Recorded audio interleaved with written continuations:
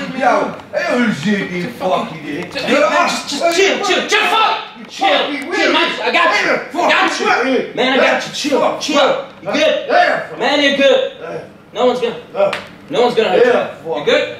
Fuck. Fuck, man. Water for this guy, man. Only water. Shit. Hey, bouncer! Fuck. So I'm walking in a disco, I'm minding my business. All of a sudden, there's this drunk, apparently drunk guy who's being verbally aggressive towards me.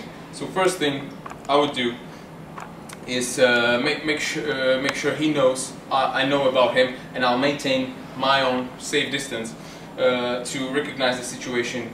Uh, maybe I'll check for his friends and stuff.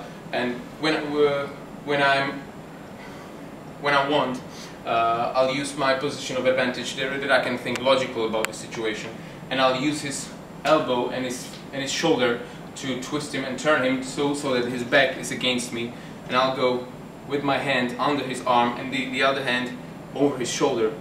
I'll clap my hands like this in a seatbelt position. I'll create a seatbelt around him, and I'll put his weight on uh, on my body by stomping, stomping uh, with my rear hand and hitting his ch his chest with my arms like this. I'll put my head on his head so I prevent any any unnecessary movement. For example, if he if he'll be still aggressive physically, and yeah, and, and try to try to give me elbows and stuff, you know, just to make make sure he, he doesn't harm anybody.